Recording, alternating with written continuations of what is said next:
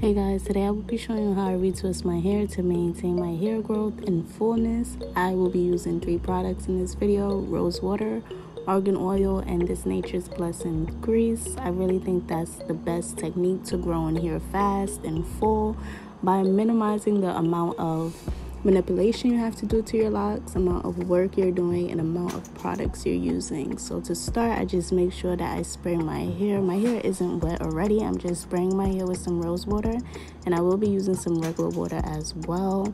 And then I'm gonna make sure that I grease my scalp and moisturize my locks from the root down using the oil. I'm not going to be using grease oil down my lock because i'm a bit concerned that it does cause more length than i need but i'm not sure.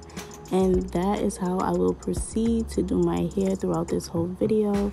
I know that when I started my locks, they were extremely thin, and I did not think that they would thicken up as thick as they have gotten but I'm so proud of them and I'm so proud of myself because over the eight years that I've had locks, I've only been to the salon to actually do them, I believe, four times. So I knew that once I started, I would be maintaining my locks myself. And for me, that means doing the most easiest thing I possibly can. I did not start my locks by myself. I went to a hairdresser and she started them for me. I showed her a picture of how full I wanted them, how thick I wanted them to be, and she parted them out on her own. I didn't make any suggestions and I'm really proud how they turned out. Some things now I think I would have changed, but I'm no professional.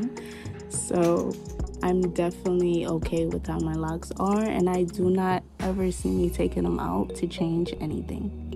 Aside from that, I do not bleach my hair and I do not color my hair. One time I bleached them, that's why you see a few highlights and blonde strands. I bleached like nine of them and then I instantly ended up coloring them back brown. So I'm not someone who likes to bleach my hair or color it. So this is just how they are and the front of my hair is where my hair is thinnest. So those are my thinnest locks. And honestly they're always breaking. And I'm like as they've gotten longer they usually break at the ends. And it just makes me so sad. But it is what it is. I make sure not to keep that dead weight on. And I wait for them to fall off or I just cut them off. So aside from that this retwist lasts me at least six weeks. And that's when I'll probably be washing my hair again and um, it doesn't stay so slick and smooth like this but i'm really not into having it so slick. I don't even use a comb. I just feel my way around and i retwist my hair accordingly. So yeah enjoy this video and watch me retwist from back to front. If you have any questions be sure to leave them in, in the comment section below. And thank you all for watching